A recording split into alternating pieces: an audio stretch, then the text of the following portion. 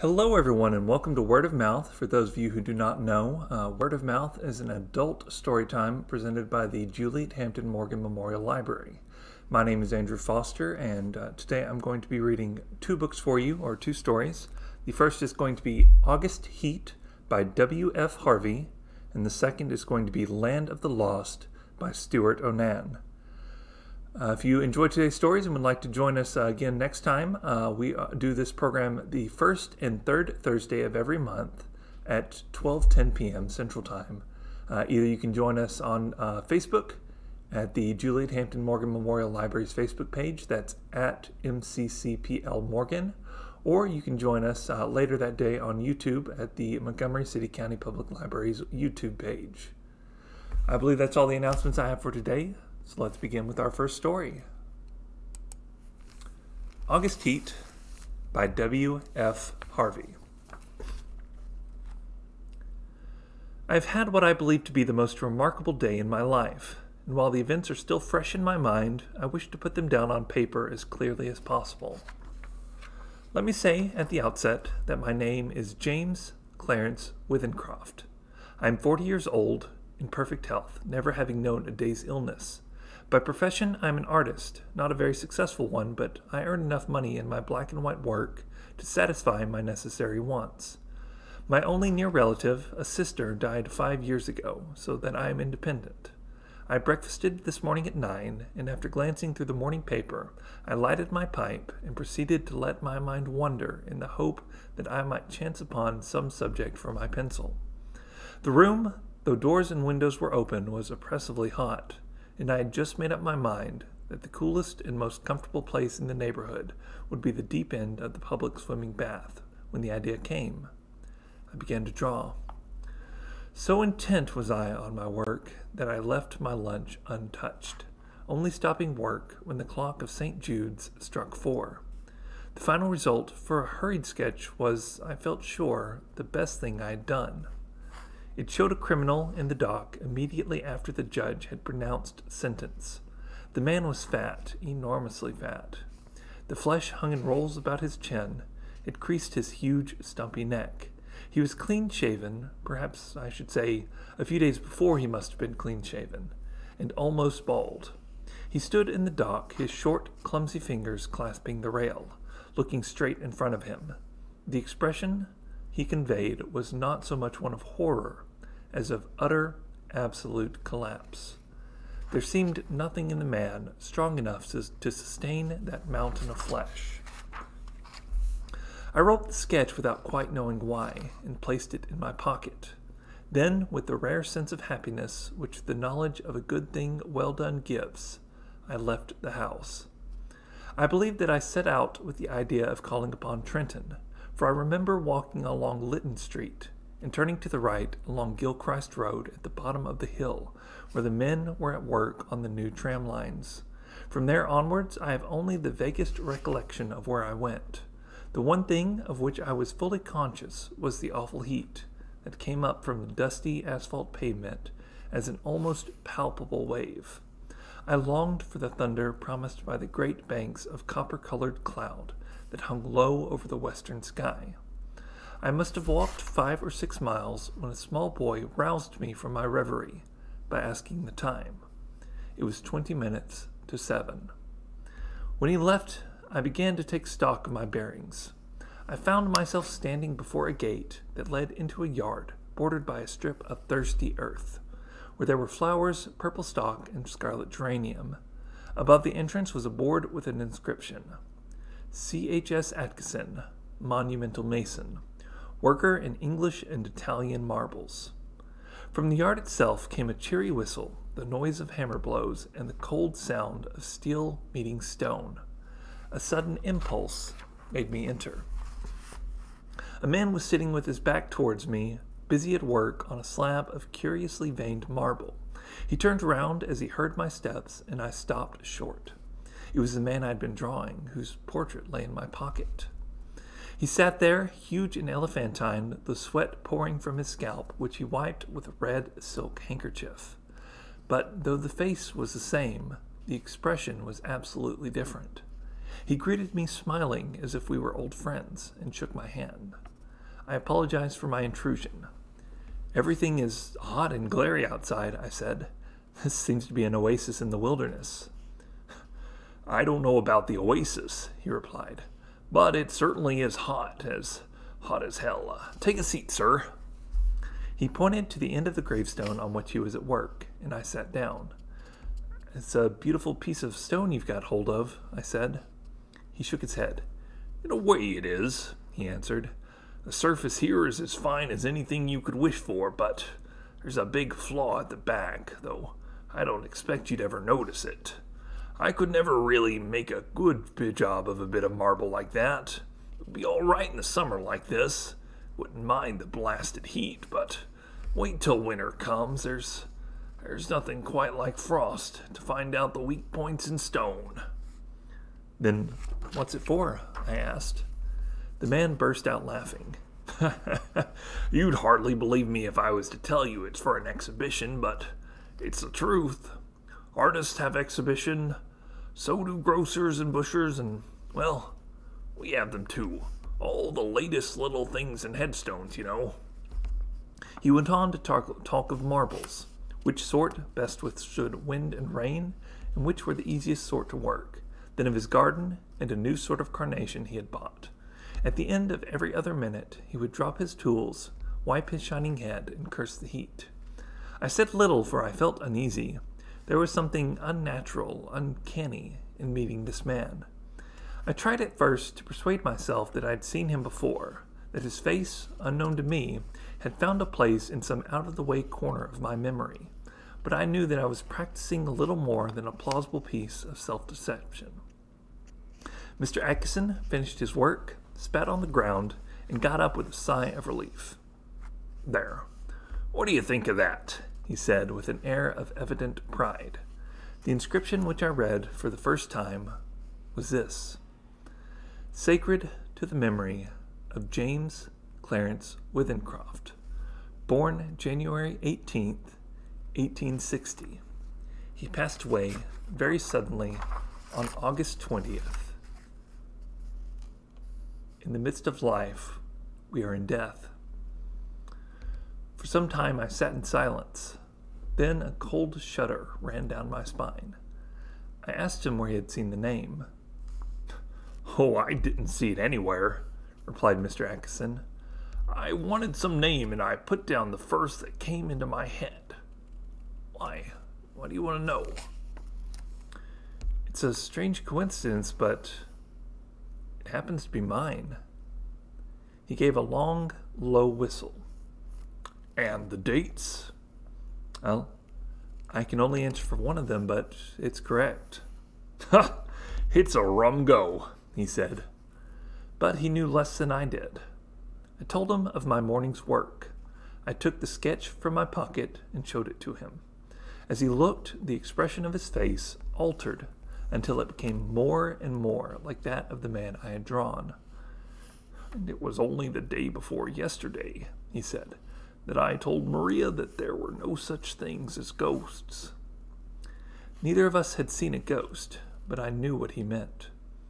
You, you probably uh, heard my name, I said. And you must have seen me somewhere and have forgotten it. Were you at uh, Clacton on Sea last July? I had never been to Clacton in my life. We were silent for some time. We were both looking at the same thing the two dates on the gravestone, and one of them was right. Uh, come inside and have some supper, said Mr. Atkinson. His wife was a cheery little woman with the red, flaky cheeks of the country bred. Her husband introduced me as a friend of his who was an artist. The result was unfortunate, for after the sardines and watercress had been removed, she brought out a Dore Bible, and I had to sit and express my admiration for nearly an hour. I went outside and found Atkinson sitting on the gravestone smoking. We resumed the conversation at the point we had left off. You must excuse my asking, I said, but do you know of anything you've done for which you would be put on trial? He shook his head. I'm not bankrupt. The business is prosperous enough. Three years ago, I gave turkeys to some of the guardians at Christmas, but that's all I can think of, and, well, they were small ones, too, he added as an afterthought. He got up, fetched a can from the porch, and began to water the flowers. Twice a day regular in the hot weather, he said, and then the heat sometimes gets the better of the delicate ones. And ferns, good lord, they could never stand it. Where do you live? I told him my address. It would take an hour's quick walk to get back. It's like this, he said.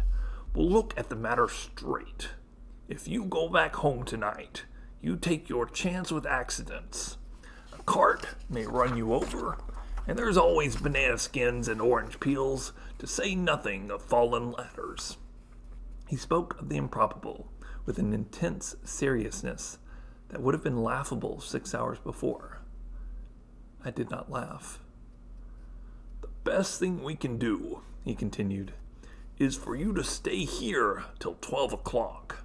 We'll go upstairs and, and smoke. It'll be cooler inside. To my surprise, I agreed. We are now sitting in a long, low room beneath the eaves. Atkinson has sent his wife to bed. He himself is busy sharpening some tools at a little oil stone, smoking one of my cigars the while. The air seems charged with thunder. I am writing this at a shaky table before the open window.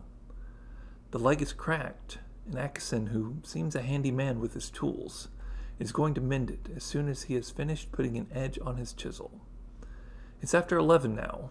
I shall be gone in less than an hour. But the heat is stifling.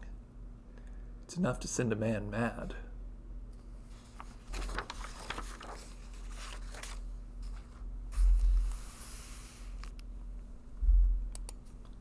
Land of the Lost by Stewart O'Nan.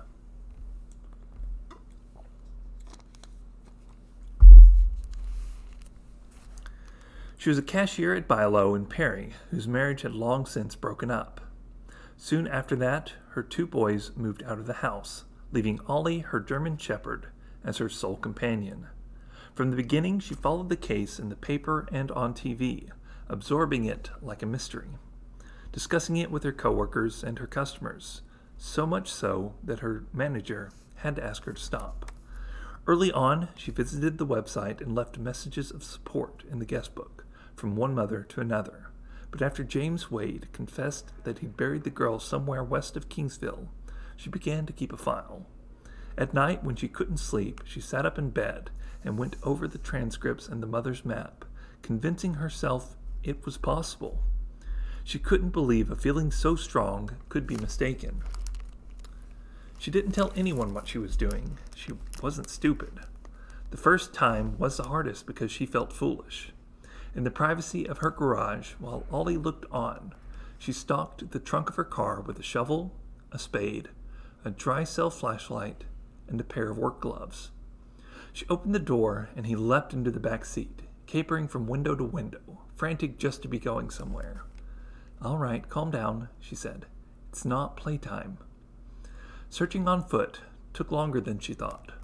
They came across nothing more sinister than a rotting seagull but she wasn't disappointed.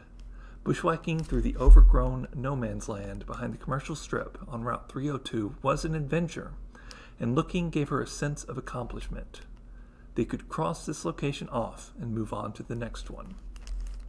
Later, she added more serious gear like bolt cutters and a lightweight graphite walking stick recommended by professionals, whose websites she treated like the Bible. She religiously documented everything, taking videos of any ground they disturbed, writing up her field notes as soon as she got home. As fall came on, she rearranged her shifts, working nights so she could take advantage of the daylight. In a couple of weeks, the ground would be frozen and she'd have to shut down until spring. It was then, when she was feeling rushed, that she discovered a youth storage outside Mentor with a stockade fence and a dirt road running through the pines behind it. Across the raw lumber Kids had sprayed their illegible fluorescent red names. She walked Ollie along the fence until he stopped, sniffling at a weedy mound. She pulled him away twice, and both times he came back to the same spot. Good boy, she said, giving him a treat, and looped his leash around a tree. She prodded the mound with her walking stick. The dirt was sandy and loose, and she went back to her car for the shovel. She dug the first hole deep, then shallow ones every three feet. She was out of shape and had to dip her head and wipe her face on her shoulder. It was cool out, and when she stopped for a drink of water, the sweat on her neck made her shiver. By the time she reached the middle of the fence, the sky was starting to get dark. At four of the corners of the self storage, high floodlights popped on, buzzing and drawing bugs, throwing weird shadows. She checked her cell phone. It was almost five. She needed to go home and get ready for work. Rather than leave the site unguarded overnight, she decided to call the FBI. They told her it was too late in the day. They'd summon someone out to talk to her tomorrow. When she complained to her older son, he asked how long she'd been doing this. The agent they sent asked the same question. He looked over her binders and the picture of the girl on the mantel and the big map tacked up in the kitchen. I'm just trying to help, she said. If it was one of my kids, I'd want everyone to pitch in. I would too, the agent said soothingly, as if it was common sense. The next day, they took her out to the site in an unmarked suburban to watch a backhoe dig a trench along the fence line. Agents in windbreakers and latex gloves sifted the dirt through metal screens, then spread it on tarps for the dogs. A project like this would have taken her weeks, and she was glad she'd called. She imagined the girl's mother hearing the news. She didn't care about getting the credit. It was enough to know the girl was finally home. They found nothing, only dirt, worms. It had all been just a coincidence. As the agent said, there was graffiti on everything these days, meaning she was crazy. Dropping her off, he thanked her. I know your heart was in the right place. was it? She could admit that at least part of the reason she was searching for a stranger's daughter was that no one else needed her, just Ollie. She promised her sons to take a break after that. She took down the map and stored the picture in a drawer and watched the last weeks of fall pass. Honoring her pledge was easier in the winter. She used the time to rethink her strategy and to stockpile supplies. Some sites recommended a pitchfork to turn the soil, others a pickaxe. On paper, again and again, she rearranged her trunk as if she was traveling cross country. She enrolled Ollie in an online course for sniffer dogs, practicing with scented rags in the backyard. He didn't always get them right away and stood looking at her as if she might give him a hint. Do you want to pass or not? she asked. Or am I just wasting my time? She kept an eye on the website and cruised the chat groups for news. She was afraid one day the page would come up and say she'd been found. But month after month, nothing changed. It had been two and a half years. Besides the family, she might be the only one still looking for her. In March, the ground thawed and she tacked up the map. She'd turned her older boy's room into a command center, emptying his desk and filling the drawers with her notebooks. On a brand new corkboard, she posted her schedule. Four days a week she'd search, weather permitting. She'd been too impatient in the fall, letting her emotions get the best of her. She'd actually expected to find the girl her first time out, as if she were psychic. She needed to be calm and methodical. If she was going to succeed, it would be because she knew how to work. Ollie just liked riding in the car and going for walks. He had a certificate, but the death scent made him sneeze. The smells interested him came from other dogs, and he immediately covered them with his own, lifting his leg and making her wait. As spring turned to summer, the only thing he discovered was a bee's nest, provoking a swarm and earning him a bump on the nose. He would have stayed and tried to fight them if she hadn't dragged him away. She made the mistake of telling her younger son, who told her older son, who called and said he thought they agreed she was going to stop. I don't see why you're so upset, she said. I'm worried about you. Do you understand why? No. That's why, he said. After that, every time he called, he made a point of asking how the search was going. She refused to lie.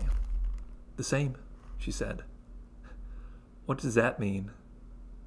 It meant she was ranging further and further west, devoting whole weeks to a single exit off the interstate, tromping the buggy jungles behind truck stops and fireworks outlets, breaking ground by every stockade fence she came across, graffitied or not.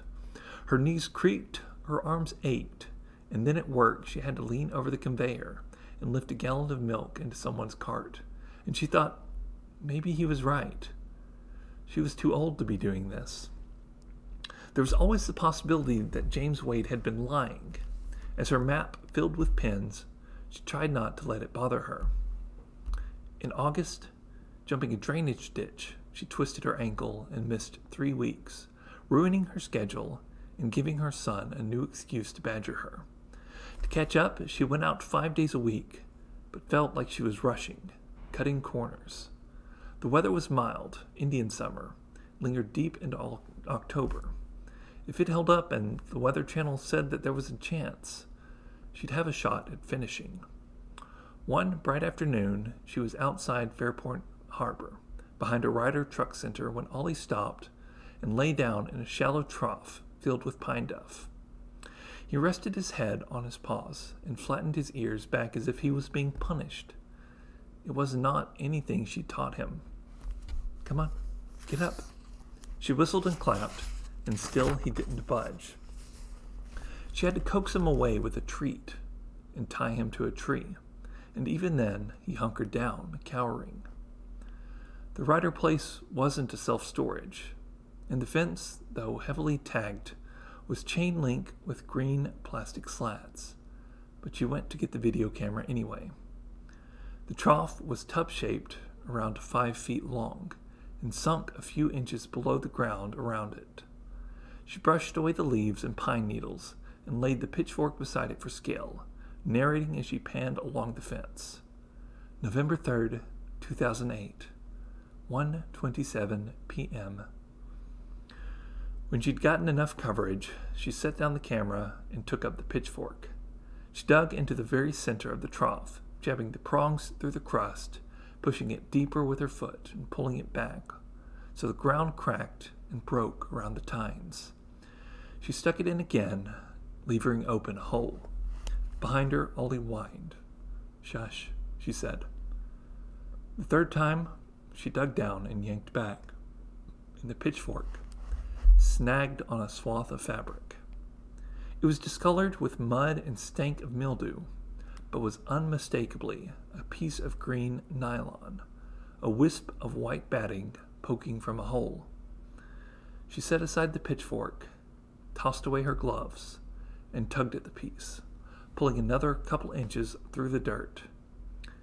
It was the shell of a sleeping bag. She could see the thick seam of the zipper.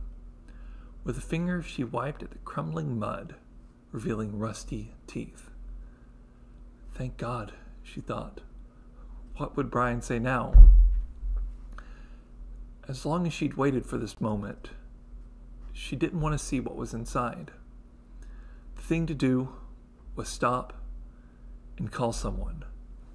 But after last year, she couldn't. She knelt beside the hole digging it free with her bare hands. This time she would make sure. Then everyone would know she wasn't crazy.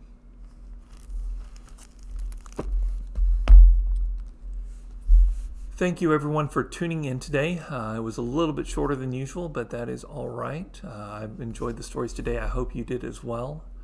Uh, if you are interested, once again, in joining us uh, next time, our next program is going to be in two weeks.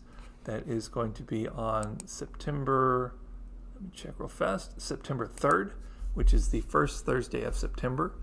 Uh, we're going to be doing a mystery for that one. It's going to be a uh, one of my favorites. It's a uh, mystery by uh, Arthur Conan Doyle. It's going to be the case of the red-headed league.